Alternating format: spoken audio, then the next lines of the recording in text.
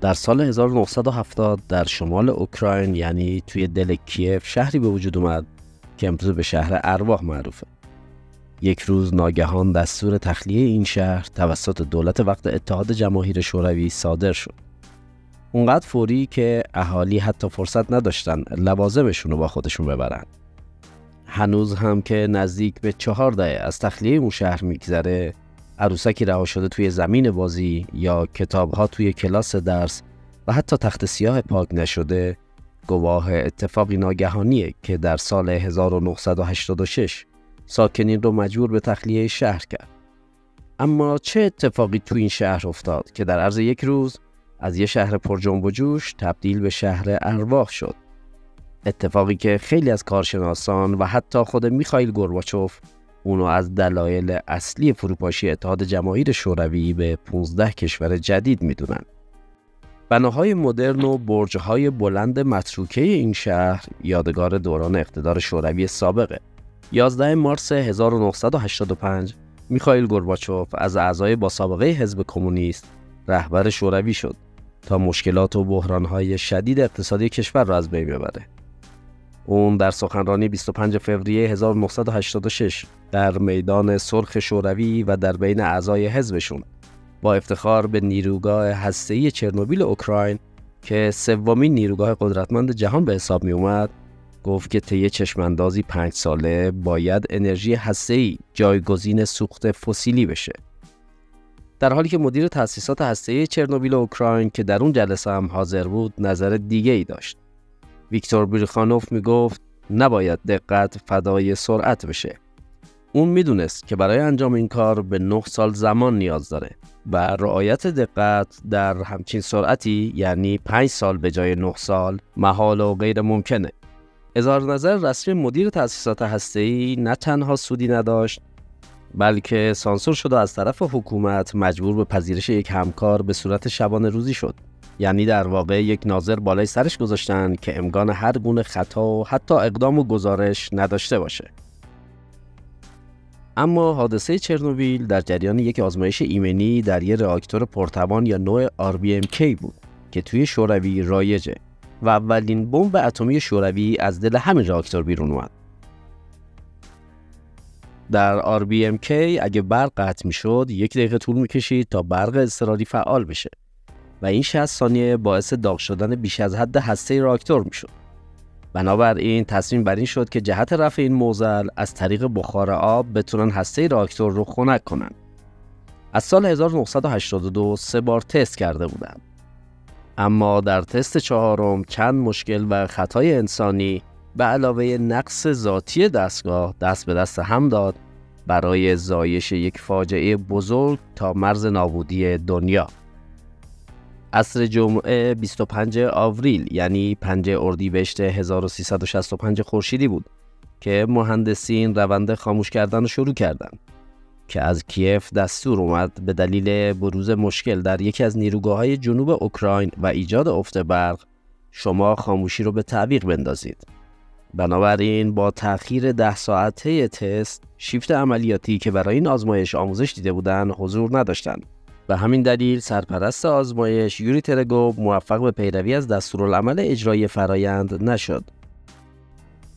در ساعت 1 و 23 دقیقه و 45 ثانیه بامداد 26 آوریل مقدار زیادی انرژی به طور ناگهانی آزاد شد و با شکاف دادن پوشش چند صد تونی فولادی بالای راکتور آب خنک کننده به طور کامل بخار شد و این لحظات و اتفاقات مقدمه انفجار دوم بود.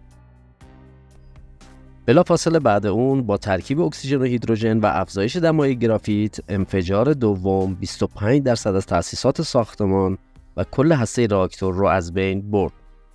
بریخانوف که مسئول فاجعه محسوب می‌شد سریعا به گورباچوف اطلاع داد و به دستور او فورا جلسه اضطراری تشکیل دادند و خروجی اون جلسه کمیسیون دولتی حقیقت یاب دو روز بعد دستور تخلیه کلیه شهروندان از شهر رو صادر کرد.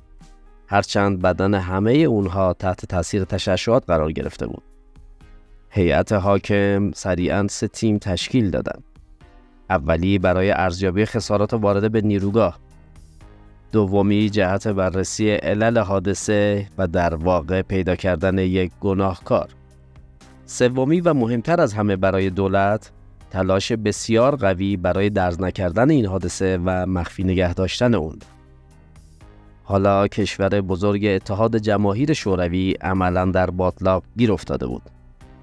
مشکلات و بحران اقتصادی که گریبان مردم رو گرفته بود و به تب دست دولت رو برای بسیاری از اقدامات بسته بود از یک طرف و از طرف دیگه مصیبت درگیری نظامی شوروی با افغانستان و حالا هم چرنوبیل و مشکلات داخلی و تازه آغاز تنش‌های جهانی.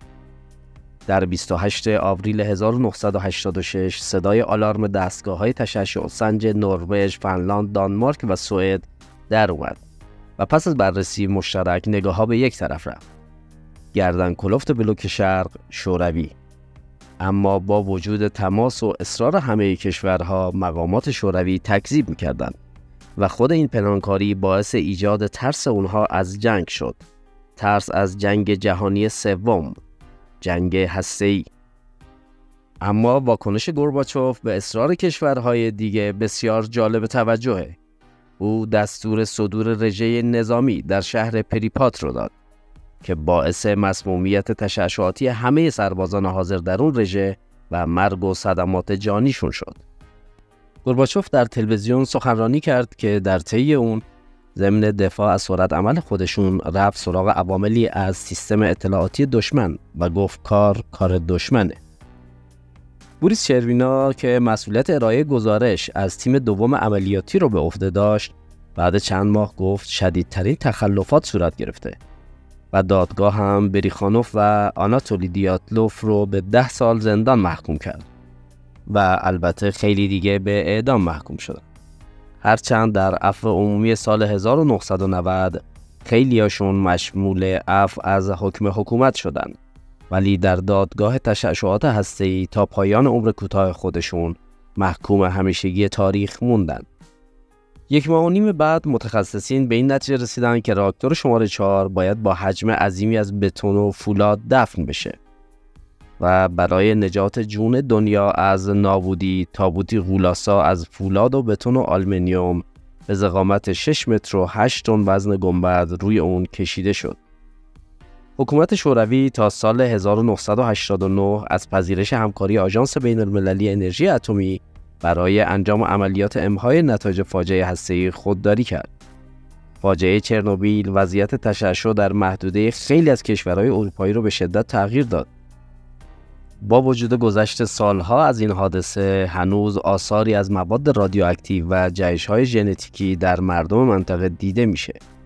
هرچند در طرحی جدید خیلی از انسانها بدون که بدونن چه بلایی در اون سالها بر اون مردم اومده و یا اینکه چه خطراتی برای خودشون داره اقدام به سفر و تور تفریح به پریپیاد می‌کنن و تشعشع موجود در اونجا رو اندازه گیری می‌کنن مقیاس فاجعه چرنوبیل بسیار بیشتر از اون بود که مقامات دولتی اعلام می‌کردن مقامات شوروی تلفات انسانی رو 31 نفر اعلام کرد. در حالی که آژانس بین المللی هسته‌ای چهار هزار نفر را قربانی مستقیم این حادثه اعلام کرد. انفجاری که معادل 500 بمب اتمی هیروشیما تشعشع ایجاد کرد و تا سالها نسل حیواناتی که زاد و ولد می‌کردند دچار مشکل بود. و حتی نوزادان انسان که با نقص عضو به دنیا می اومدن. همه و همه حاصل یک تصمیم اشتباه بود. به امید روزی که تاریخ بخونیم تا آینده رو بهتر ببینیم و با سپاس از همه شما که تا پایان ویدیو با ما رادیو تاریخ همراه بودین خوشحال میشیم که ضمن subscribe با لایک و کامنت از ما حمایت کنید